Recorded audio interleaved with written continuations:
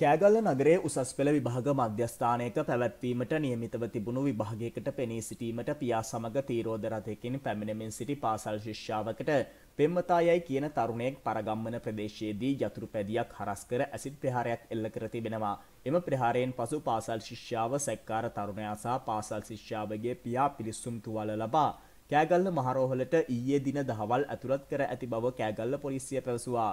මෙලෙස කෑගල්ල මහරෝහලට ඇතුළත් කර තිබෙන්නේ කෑගල්ල හෙට්ටිමුල්ල උඩුමාගම ප්‍රදේශයේ පදිංචිව සිටින 21 හැවිරිදි පාසල් ශිෂ්‍යාවක් සහ ඇයගේ 45 හැවිරිදි පියා හා කෑගල්ල නගරයේ පදිංචි වී සිටින 21 හැවිරිදි තරුණයෙක් බව පොලිසිය පැවසුවා. කෑගල්ල හෙට්ටිමුල්ල උඩුමාගම ප්‍රදේශයේ 21 හැවිරිදි පාසල් ශිෂ්‍යාවක් මෙවර පැවැත්වෙන උසස් පෙළ විභාගයට දෙවනි වරට කෑගල්ල නගරයේ පාසලක පැවැත්වෙන විභාග මධ්‍යස්ථානයක් වෙත ඊයේ 23 වනදා දහවල් එකට ආරම්භ කිරීමට නියමිතව තිබුණු විභාගයට පියාට අයත් තීරෝධ රථයෙන් පියා සමග පැමිණෙමින් සිටි ඇති බව පොලිසිය පැවසුවා. පරගම්බන පසුකර බටවංගුව ප්‍රදේශයේදී කෑගල්ලේ පදිංචි වී සිටින ශිෂ්‍යාවගේ පෙම්වතා යයි කියන තරුණයෙන් මිතුරෙකු සමග යතුරු පැදියකින් පැමිණ කෑගල්ල දෙසට දහවනය වෙමින් තිබුණු තීරෝධ රථය නවතා තරුණයා තීරෝධ රථයේ පිටුපස සිටි පාසල් පෙම්වතියගේ බෙල්ල මිරිකා ඇසිඩ් පෙවීමට උත්සාහ දරන අවස්ථාවේදී පියා ඇසිඩ් බෝතලයේගෙන තරුණයාට පාරක් එල්ල කර ඇති බව කළ මූලික විමර්ශන කටයුතුවලදී අනාවරණය වූ බව පොලිසිය පැවසුවා. එම අවස්ථාවේදී පාසල් ශිෂ්‍යාවටත් ඇයගේ පියාටත් හා සැකකාර තරුණයාටත් ඇසිඩ් වැදීමෙන් පිලිස්සුම් තුවාල ලබා තිබෙනවා. පසුව පාසල් ශිෂ්‍යාවගේ පියා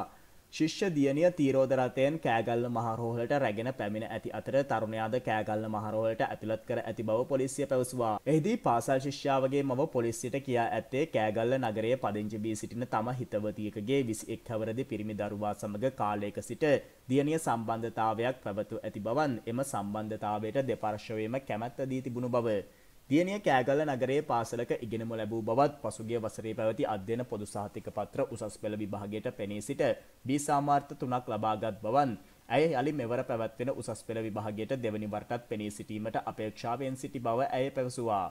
දියණිය වැඩිදුරටත් ඉගෙනුම ලැබීම සම්බන්ධයෙන් පෙම්වතා කිහිප අවස්ථාවකදීම අකමැත්ත ප්‍රකාශ කර තිබුණු බවත් ඔහු විසින් දියණියට සිම් කාඩ් පතක් අරන් දී තිබුණු බවත් එම සිම් කාඩ් පතට තරුණයා පමණක් කතා කරන බවත් ඇය පැවසුවා. මව්පියන් ඇතුළු වෙන කිසිම කෙනෙක් එම දුරකථන අංකයට කතා කරනවාට තරුණයා අකමැත්තක් කලක සිට පාසල් ශිෂ්‍යාවට දන්වා ඇති බවද පොලිසිය පැවසුවා. පසුව තරුණ පෙම්වතාගේ නීති රීති තද කිරීම හේතුවෙන් පාසල් ශිෂ්‍යාව සම්බන්ධතාවය නතර කරමු යයි මාසකට පමණ ඉහතදී යෝජනාවක් ගෙන ඇති බවන් පසුව පෙම්වතා ශිෂ්‍යාවට ඇසිඩ් ප්‍රහාරයක් එල්ල කරන බවට දන්වා කෙටි පණවිඩ දුරකථන ඇමතුම් පවා යවා ඇති බවත් පොලිසිය පැවසුවා. පසුව පාසල් ශිෂ්‍යාව තරුණයා විසින් දී තිබුණු සිම් කාඩ් පතද ආපසු තරුණයාට දී ඇති බව පොලිසිය පැවසුවා. දින ගණනාවක සිට පාසල් ශිෂ්‍යාවට කතා කර ගැනීමට නොහැකිව තිබුණු අතර තරුණයා ඊයේ දින දහවල් එකට ආරම්භ කිරීමට නියමිතව තිබුණු විභාගයට පාසල් ශිෂ්‍යාව සිය පියා සමග විභාග මධ්‍යස්ථානය වෙත තීරෝධ රථයෙන් පැමිණෙමින් සිටියේදී